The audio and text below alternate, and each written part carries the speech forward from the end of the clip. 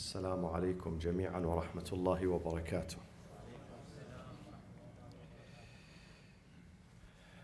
بسم الله الرحمن الرحيم الحمد لله رب العالمين.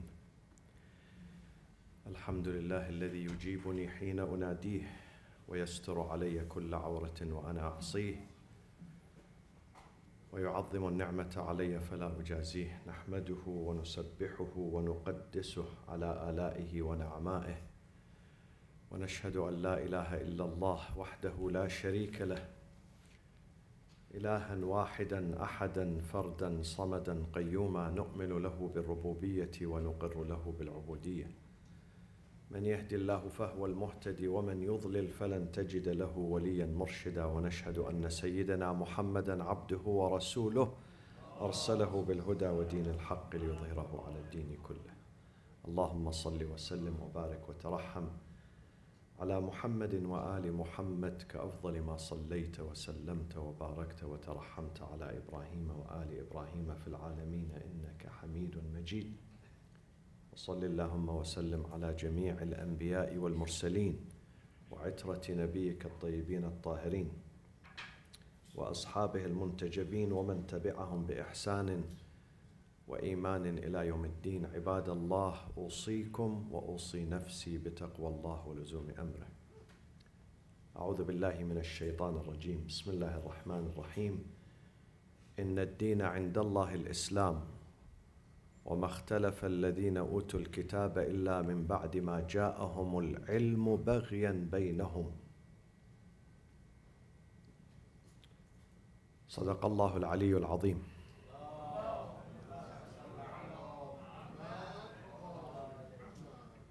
ان الدين عند الله الاسلام verily the faith the path deen means the path the road to god is Islam. And Islam has been defined in two ways the macro Islam and the micro Islam. The macro is the submission. Al Islam means submission. When you submit to the will of God, to the kingdom of God. But the micro is this version, the, the latest version. the religion that was and the book that was brought by Prophet Muhammad sallallahu alaihi wasallam.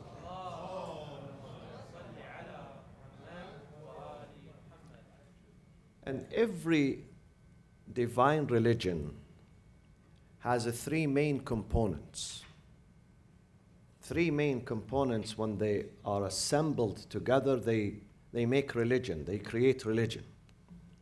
The first component is the ideology, the aqidah, the doctrine.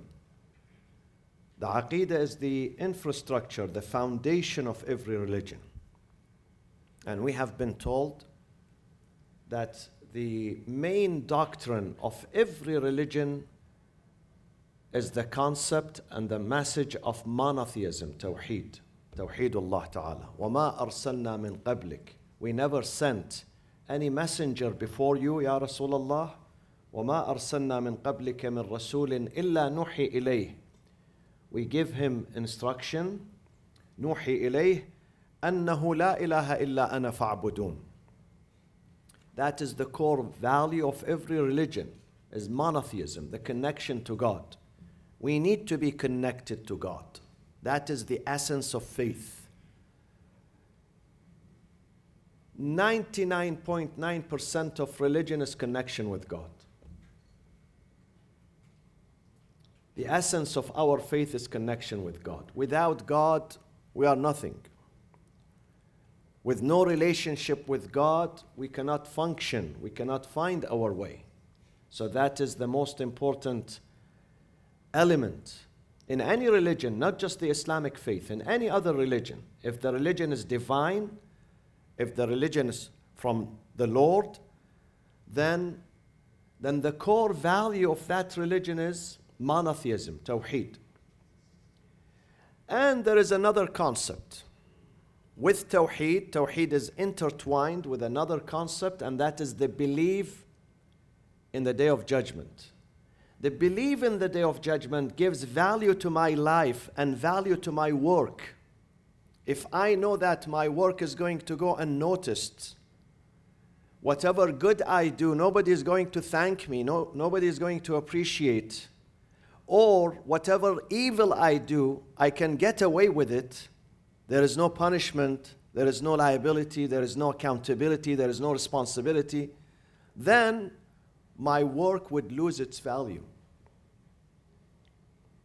It is the belief in the day of judgment that even if my work goes unnoticed in this life, in the dunya, but in the akhirah, it's not going to be unnoticed. It is going to be appreciated. وَأَنَّ سَعْيَهُ سَوْفَ يُرَى وَأَن لَيْسَ لِلْإِنسَانِ مَا إِلَّا مَا سَعَى And verily, truly, his sa'i, his endeavor, his work, his production, whatever he or she does, سَوْفَ يُرَى It is going to be appreciated. It is going to be rewarded. It is going to be seen by us. So that gives value to our work. Otherwise, we lose hope.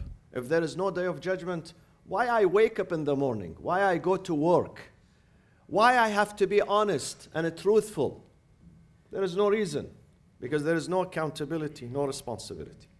But because there is a responsibility, because there is a day of judgment, because everything we do, it's recorded, everything we say, it is recorded, then that gives value to our life that makes us work even harder in this life. This is our motivation that there is a day of judgment. There is a day that nothing goes unnoticed, whether it is good or, or bad. وقالوا ما لهذا الكتاب لا يغادر صغيرة ولا كبيرة إلا أحصاها. They say, what sort of accounting is this? That never leave anything, whether big or small, but to be recorded. أحصاها. وَوَجَدُوا مَا عَمِلُوا Verily they find what they did in this life. وَجَدُوا They will find it right before their eyes. وَوَجَدُوا مَا عَمِلُوا حَاضِرًا وَلَا يَظْلِمُ رَبُّكَ أَحَدًا So the belief in God gives me this feeling that I'm not, not alone. When you believe in monotheism, you are not alone. Here, you have a support in this life even if your family abandons you, your friends abandon you, but God would not abandon you. You are not alone. You have a caretaker, and that caretaker is, is called God. And the belief in the akhirah will give you more incentives to work better. Because everything is recorded, everything is invested, every penny you put into this endeavor is going to be invested you're going to see the result of it. This is one part of religion, aqidah. This is the infrastructure of our religion. Then we come to the second part, which is the law and the code of conduct and the legislation, which is Sharia, which is the Islamic law, which is the fiqh, which is equally important because it is the Islamic law that regulates and organizes my life organizes my affairs with people, with myself, with my Lord, with my community, with my family. It regulates our life, the Sharia. And Sharia has a say in everything, it has a say. It has a directive, it gives direction, the Islamic law. And the Sharia has been divided into two sections. If you open any book of fiqh today, it has two main sections. It has ibadat, this is your relationship with God, and mu'amalat, your relationship with the people around you. And both are important. Both. We cannot survive with only ibadat without mu'amalat. We cannot survive. I cannot say, the most important one for me is God. I don't care about people. No, I have to care. I have to care about my family. I have to care about my friends. I have to care about my co-workers my classmates, my neighbors. I have to care. I cannot live by myself here. Which prophet lived by himself? Nobody. You have two dimensions God, you have the, the vertical dimension and the horizontal dimension. God and people. And they integrate each other. On the other hand, there are people who say, I care about people. No, no problem. I don't believe in God. I believe in goodness. I have to be good. I have to be kind. I have to be honest. This is enough for me. No, it is not enough. It's not enough because it is God who created you, God who taught you how to be honest. Have you seen some children when they rebel against their parents? They say, My father is not important, my mother is not important. They are not important in my life. They are important. They are the one who implanted in you the seeds of goodness. If you are good, then it is your mother and your father.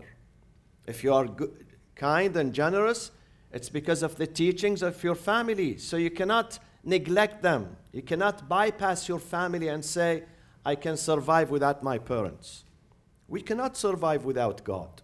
It is God who created me, God who guided me.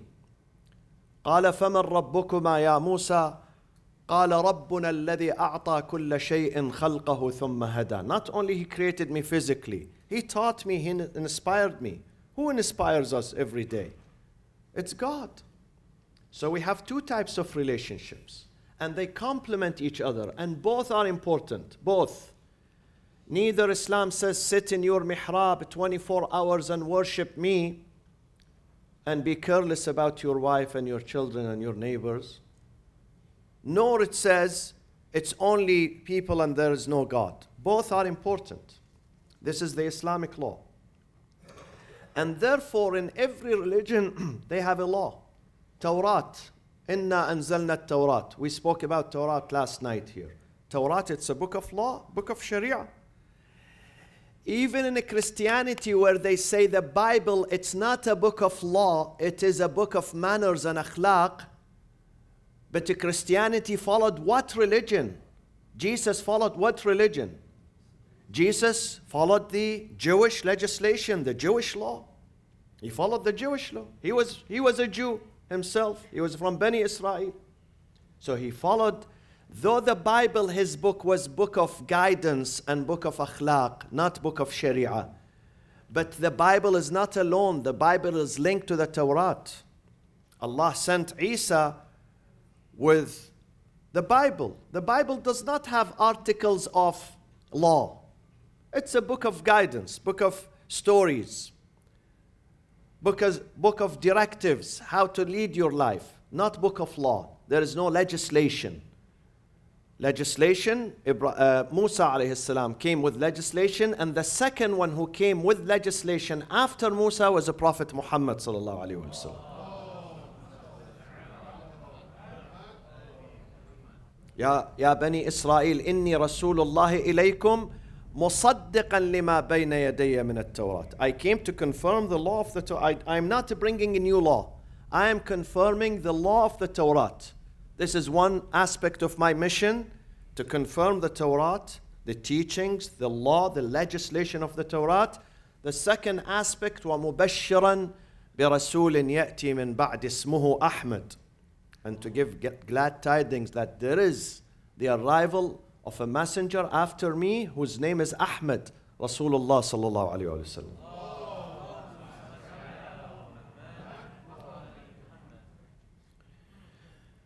And Sharia, this is sometimes people are scared in America. Islamic Sharia, Sharia, they want to dominate America with Sharia. They don't even know what is Sharia, whether it is chalo kebab, whether they, they, they don't know. They hear something Sharia, they don't know. Is it animal? Is it food? Is it, you know, creature? Sharia is a religion that is flexible. Flexible, Islamic Sharia. Islamic Sharia is not, is not rigid, is not harsh, is not stringent. It's very flexible. It's very moderate. Sharia came to bring happiness, not sadness, to bring relief, not stress.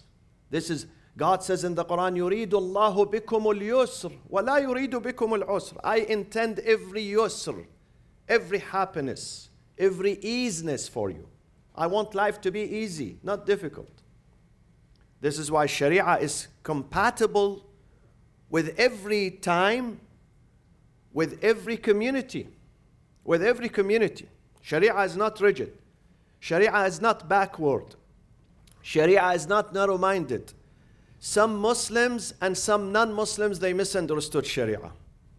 The American people, they misunderstood Sharia out of prejudice. Some Muslims misunderstood Islamic Sharia out of ignorance.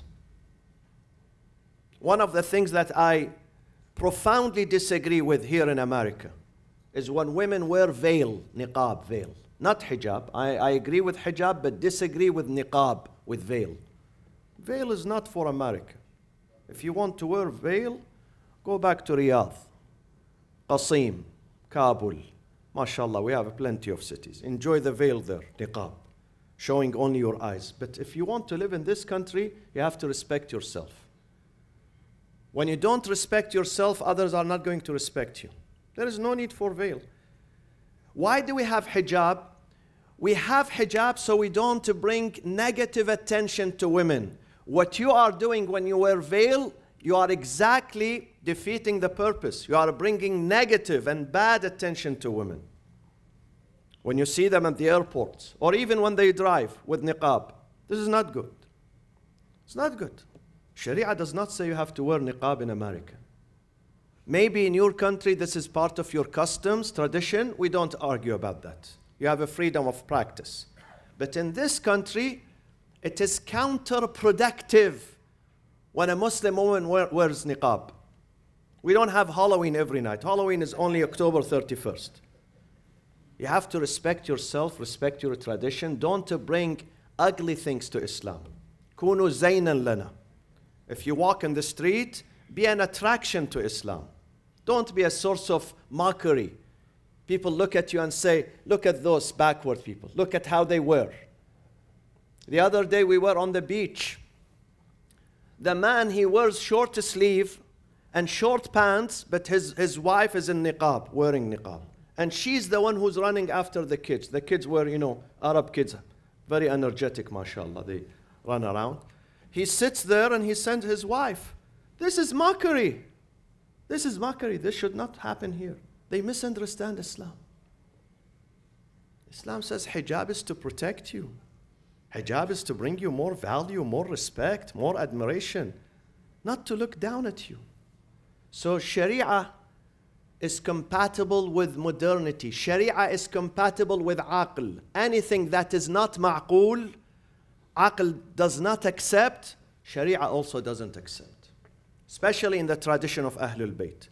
We have a, a maxim in the school of Ahlul Bayt, we have a maxim that others they don't have it.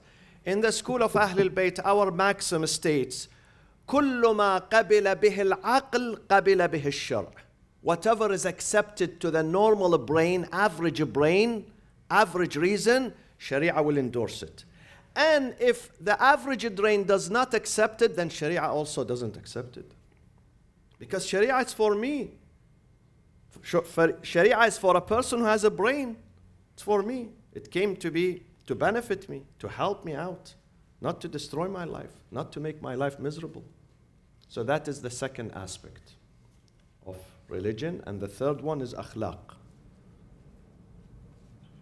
Even if the Sharia is perfect, even if the doctrine and the aqidah is perfect, if akhlaq are not good, we're going to lose all the credit. Akhlaq is the way you conduct yourself, the way you behave in your family, in your society. Mannerism, akhlaq. And that is the real fruit of every religion. Every religion. Have you seen some, some fruits are bitter? You can't taste them, you cannot tolerate them. And some others are very tasty try to buy, try to go to Costco and buy the, the angur. What is angur? Grapes. Grapes. Very tasty, believe me. You enjoy it. Try. I'm doing marketing for Costco because I, this is the only place I love. You enjoy it. How do we enjoy Islam? Through the akhlaq. Through the akhlaq. If a person is a worshipper, he worships, he does his salat, his siyam, his Quran, his dua, his ziyarah, but he doesn't have akhlaq. When he deals with people, he's always frustrated. He's suspicious. He's angry. He's dishonest. Then there is no, there is no benefit. This is not religion. He's wasting his time Wasting his time. Akhlaq is the beautiful fruits, the tasty fruits, the sweetness of Islam are the akhlaq. And this is why the Prophet, out of all things, he focused on akhlaq. He said, إِنَّمَا بُعِثْتُ لِأُتَمِّمَ مَكَارِمَ الْأَخْلَاقِ I came to integrate your manners, to make your manners more humble, more beautiful, more attractive. But Muslims don't listen. Muslims don't listen. If we go to Muslim countries, the behavior is not good. The behavior is not good. They don't follow the sunnah of the Prophet. They follow him in the way he prays, probably. They argue whether he prayed this or that. They kill each other for this. But they don't follow him in his honesty, in his integrity, in his truth, in his sense of responsibility, in his sense of care and love and forgiveness. They don't follow his sunnah. The material sunnah they follow, and sometimes they follow wrongly. But when it comes to the spiritual and moral sunnah of the Prophet, the moral sunnah, the moral legacy of the Prophet, it is abandoned. Abandoned among the Muslim, Muslim Ummah.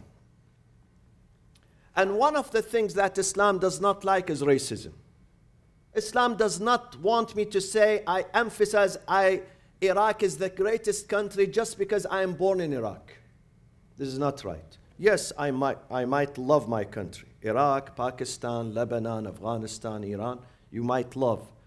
But don't bring the issue of superiority. Just because you are born in that village, that village is the center of the universe. In Isfahan, they believe Isfahan is the center of universe. Isfahan nisfa jahan. It is beautiful, but it is not nisfa jahan, no. They haven't seen elsewhere. Same thing with Egypt. Egypt, if you go Egypt, Masr Ummud Dunya, the mother of the whole universe. But the piles of trash, it's up to two meters. Have you seen? Cairo, go yourself. Go to the Giza, where the pyramids are. You can't go there because of the piles of trash. This is not Ummud Dunya. Allah says, be clean, be nice, be organized. Then you can brag. But if you are always behind, you cannot brag of your nationality, your race, your blood. Allah is not racist. Allah created races, dif, dif, uh, different races and different ethnicities and colors on purpose. On purpose. لِتَعَارَفُوا So we respect. We respect. See this masjid, see the carpet underneath you? It's colorful, different colors. When you put them to, together, they give this a beautiful scene. Colorful. When you wear colorful, see, you're wearing different colors. I wear different colors. It's a beautiful. Allah says this is this is the fabric of the humanity. When you put them together, different colors, it, it, it gives fascinating scene, fascinating look. This is the reason, not to brag, not about superiority. Nowhere a God who says this community is superior to others, this is not a good God. We disagree with him. Allah says only with one thing. Inna akramakum indallahi atqakum. When you are more pious, more responsible, then you may brag. But if you, if you are not, then don't brag about anything. So these are the three components of Islam. Number one, and any religion. Number one is aqidah, which is the doctrine the ideology. The second is the sharia, the law. And the third is the manners, the akhlaq. إن الله يأمر بالعدل والإحسان وإيتاء ذي القربى وينهى عن الفحشاء والمنكر والبغي يعظكم لعلكم تذكرون بسم الله الرحمن الرحيم والعصر إن الإنسان لفي خسر إلا الذين آمنوا وعملوا الصالحات وتواصوا بالحق وتواصوا بالصبر. وصلى الله وسلم على سيدنا محمد وأهل بيته الطيبين الطاهرين.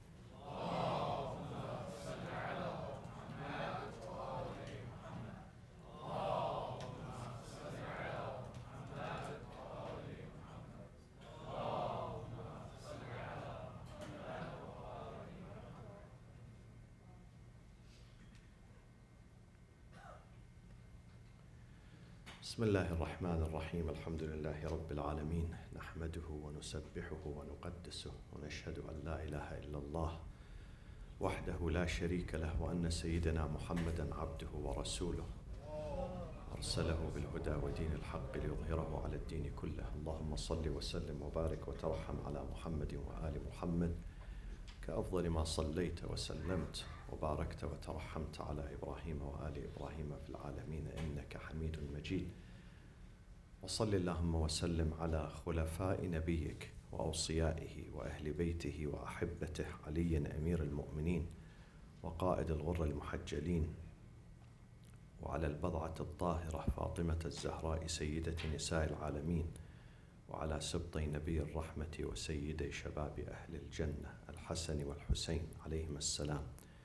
وعلى علي بن الحسين ومحمد بن علي وجعفر بن محمد وموسى بن جعفر وعلي بن موسى ومحمد بن علي وعلي بن محمد والحسن بن علي والخلف الهادي المهدي. عجل الله تعالى فرجه وسهل مخرجه وجعلنا من أنصاره وأعوانه. عباد الله أوصيكم وأوصي نفسي بتقوى الله ولزوم أمره. Today is the 8th of Rabi' al-Awwal, the anniversary of the martyrdom of the 11th Imam, 11th Imam of the school of Ahlul Bayt, Al-Imam al-Hasan al-Askari.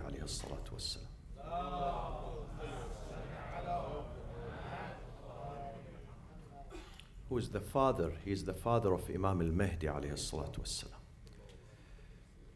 This Imam, the 11th Imam, and the 10th Imam, Imam Ali al Hadi, his father, they were brought from Medina to Samarra by the Abbasid establishment, caliphs, to put them under house arrest. Those Imam, Imams were very popular among the people of Medina, the Muslim community. And the Abbasid, they feared the influence of the Imam on the people. Therefore, the Caliph asked them to move from all the way from Samarra, from Medina to Samarra. And Samarra at that time, it was the capital of the Abbasiyun. The original capital is Baghdad, but because of the revolt of the people of Baghdad against the Abbasid and their dictatorship, they had to move their capital to the north, to Samarra. For about 50 years, the capital of the Abbasiyun was in Samarra, and then they came back to Baghdad. So during that time, Imam Ali al-Hadi alayhi salam, the 10th Imam, and the 11th Imam, Imam al-Hassan al-Askari, they moved from Medina to Samarra, and they were under house arrest. They did not have a freedom to contact people. As a result of that, Imam al Hadi died by poison, and Al Hassan al Askari alayhi salam died in the year 260 Hijri by Al Mu'tamad al Abbasi, the Abbasid caliph, again by poison. And both of them are buried in Samarra. If you go to Samarra, you see the graves and the shrine of both Imams, the 10th and the 11th Imam. What I like about the Imams, maybe not very much the history, but the legacy, what they left behind. Imam al Askari died at the age of 28 only. He was only 28 years old when he died. His father, Imam Ali al Hadi, was 40 years old when he died. Because the establishment, political establishment of the day, they feared them. They feared their throne.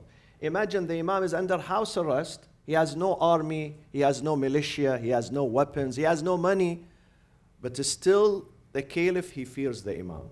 And he would not rest until he poisons the imam and kills him.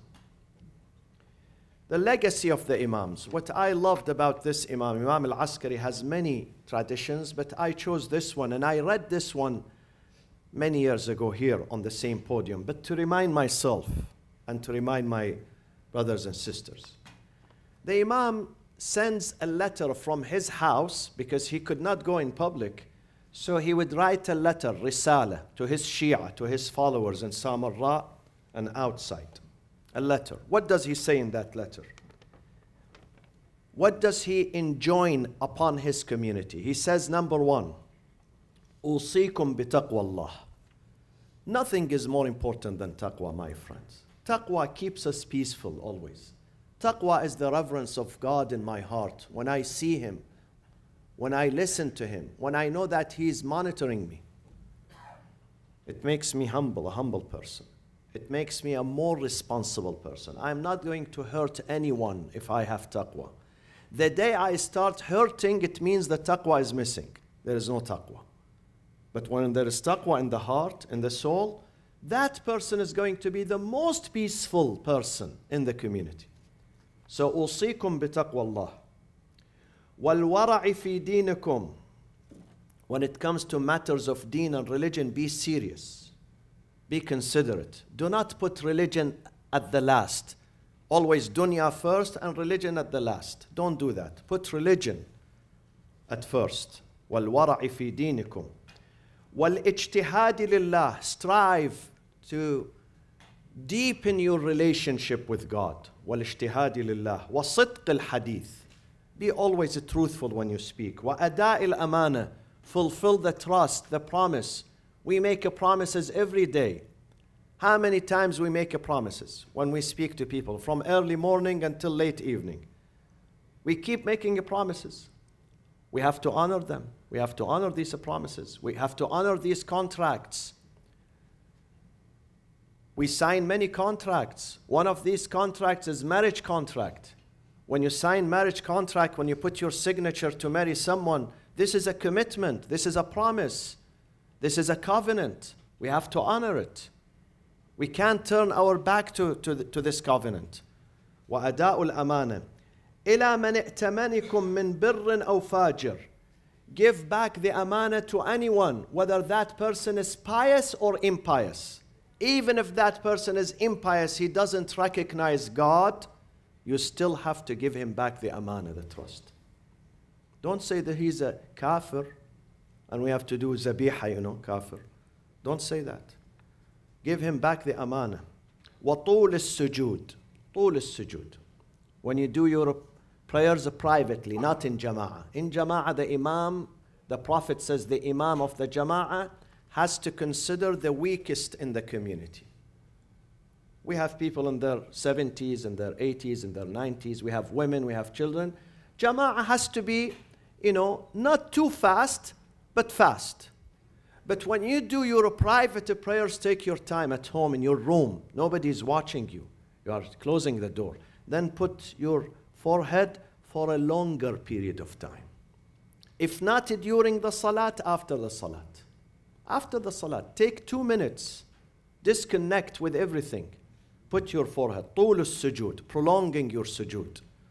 This gives us that energy, special energy, special connection to God. وطول السجود وحسن الجوار be the best neighbor in, the, in your streets فبهذا جاء محمد صلى الله عليه وآله وسلم this is the core of the Prophet, the core of his message, the message of the Prophet. And then he says, because the Shias were minority, the majority was non Shia. It's just like today. We are minority. So, how do we deal with others? Do we deal with antagonism, with hatred, with suspicion? No. Listen to what Imam al Hadi Ashar, the 11th, says to the Shia. How should we deal with the Sunnis? صلوا في عشائرهم go to their communities and do your prayers in, in their communities صلوا في عشائرهم واشهدوا جنائزهم go to their funerals when someone passes away passes out go and, and, and, and be present in their in their janazah, in their funerals, in their cemeteries. وعودوا مرضاهم. If someone gets sick, go and visit him or her in the hospital, at home. وأدوا حقوقهم fulfill to them their rights أدوا حقوقهم فإن الرجل منكم if one of the Shia you guys the Shia ورع في دينه he's pious in his faith وصدق حديثه he speaks the truth وأدى الأمانة he fulfills the trust وحسن خلقه مع الناس beautifies his manner with people قال قيل هذا شيعي فيسرني ذلك they will say look at the Shia this is their manners look at how they behave they behave like angels فَيَسُرُّنِي ذَلِكَ You bring us happiness, your imams, of course. It's like when you, when you praise a son in front of his mother, his father. When you praise the son, the daughter, of course the parents are going to be happy, they're going to be excited. Same thing with us, believe me. How do we make Rasulullah excited? His birthday is in about a week from now. How do we? What birthday gift I sent to the Prophet? When I become a good person in the community, a good Muslim, a good Shi'i, a good followers of Ahlul Bayt, that is the best gift that I can present to my Prophet sallallahu alaihi wasallam.